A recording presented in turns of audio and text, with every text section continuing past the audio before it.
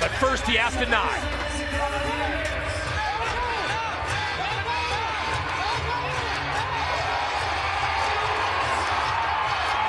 There you go. Pacheco does his job. With the bullfighters we have, you don't need to be able to run away from a bull.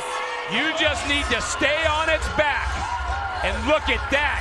You don't think he's going to be emotional? We have never seen that sort of reaction out of him. You know, and that's the thing that makes this sport, me such a fan of this sport, is you you can't you can't predict how bad a guy wants something. And, and this guy has been dreaming of being in this position and being able to get a world championship his entire life. He's been the bridesmaid several times.